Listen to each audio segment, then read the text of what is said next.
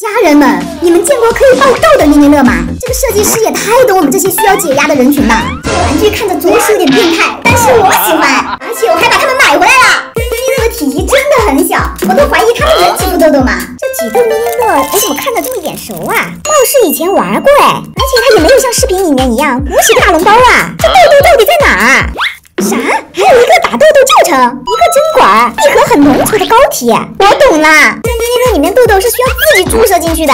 这商家也太会做生意了，通过通的捏捏乐就变成了挤痘痘神器。哎，你要说这商家是奸商吧，还贴心的给你准备好了手套。这龙包闻起来好香啊，它应该就是护手霜吧？哎，我为什么要灌？我直接把脓包吸到吸管里不就得了吗？差点干傻事儿。接下来本大夫要进行皮下注射了，如果疼的话，你就哼一声。哇，这针筒真长哎！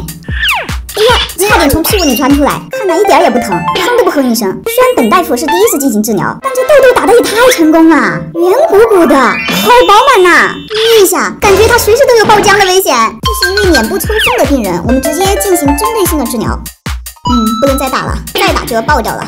这个病人怎么自带痘痘啊？左边脸上还有一颗脓包，看这形态应该已经成熟了。要不再给你多来几颗？看你貌似挺开心的样子。哇塞，这一箭双雕，一打就是两颗。我发现这打痘痘比挤痘痘更解压耶。哦，不小心挤出一个空气痘，再来一次。啊，小可爱果然是小可爱，就算长了痘痘也不影响他们的颜值。你们觉得应该先给谁治疗啊？这个病人脸上已经完全毁容了。虽然我被你乐观的精神感染了，但是啊，咱该治还得治，先给你疏通疏通。